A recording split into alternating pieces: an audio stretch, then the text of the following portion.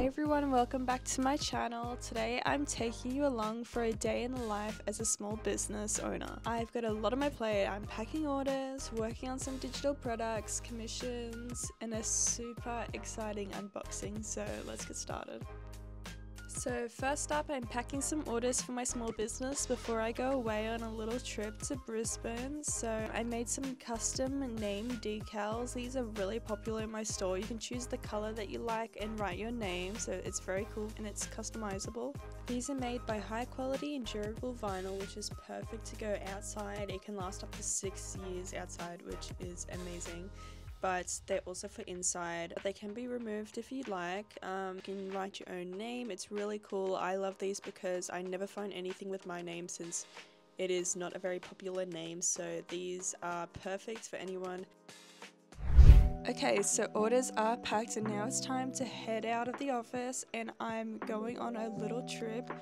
It's an hour flight, so I wanted to film some of this since I'm traveling a lot since I have a long distance partner, which I'm soon moving up there, but I travel up there very often, so I thought why not film it. I've been working there on my laptop with my iPad and this little setup that I'm showing you guys, and I had this commission for a Christmas collection for a, another business we also went out to the shops and I found the store that had a bunch of capybara plushies which was so so cute. I even bought one with this turtle backpack. They had a really large one but it wouldn't be able to fit in my suitcase on the way back home. There was also this really cute little keychain which had a bell to it which I wish I got but I didn't so sadly it's still there. So while I was away, I was also setting up my digital Etsy page. So this just has a bunch of digital downloads, custom commissions, all things like that. Once I got back home, I had to make all the orders, pack them all for you guys. So I ran out of out of our holographic stickers, so I had to restock on those. So and I also made this lavender passenger princess decal which is so cool. This color is gorgeous. Our passenger princess decals are actually our most popular decal. People love these. These were a bestseller last year. Yeah so we have a wide variety of color choices that you can choose from. We actually just restocked on some new colors but we've had this color for a while. It's really pretty and yeah, how good did this turn out? Okay, so onto making the holographic stickers. So I use Cricut Design Space and I also use Aviarix's sticker paper. So I use their holographic vinyl sticker paper. It is so good, such high quality. Look at that holo, it's a bit hard to see on the camera, but it is really nice. The colors turn out so good with the printer. They look exactly like the glossy, just holographic. And I put a clear glossy laminate on top. This makes it more durable, less chance of it tearing.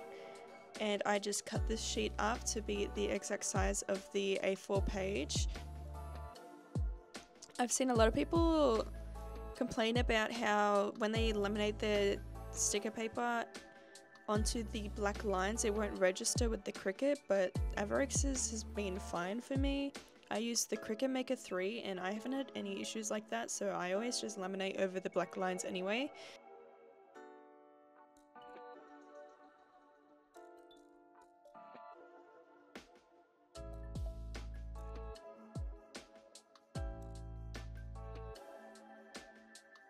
So here's it registering the lines and these cut perfectly. I had some issues with the cutting but I bought some new blades and some new sticky mats. So this is my old sticky mat, but I did buy some new ones recently, so I won't have this issue anymore. So ignore the dust that is stuck to this.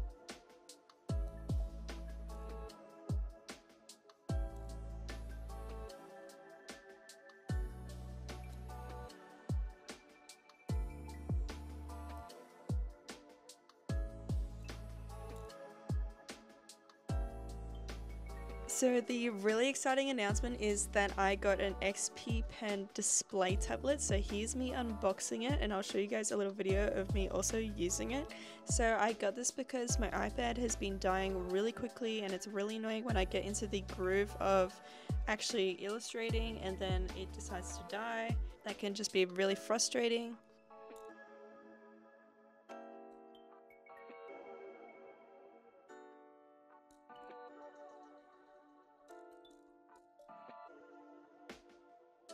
Decided to just finally get the XP pen. It was on sale.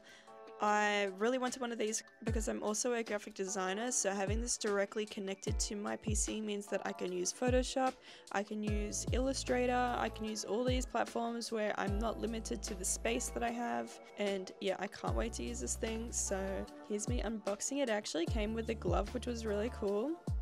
I've always seen people drawing with the gloves, and I'm like, oh, I want to be that fancy, I don't know and it came with a lot of cords but I ended up working it all out and connecting it and it's like a third monitor. It's really cool.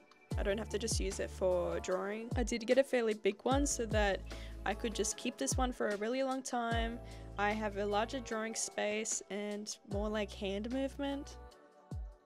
And here's me drawing it. So I just recorded some test footage of me trying it out and trying out the brushes. I actually downloaded a bunch of brushes by some artists I couldn't find any that I liked originally since I'm used to my brushes that I have on my iPad so it's completely different but I found these brushes. I really love them. I will link them in the bio if you are interested. And yeah thank you guys so much for watching I'm going to be posting way more videos since I actually got my new DJI camera. And yeah see you guys next time. Please sub and like and comment if you enjoyed this video. I'm trying to get monetized on YouTube so then I can actually post regularly and, and go full time with my business. So if you did like this I would really appreciate it and see you next time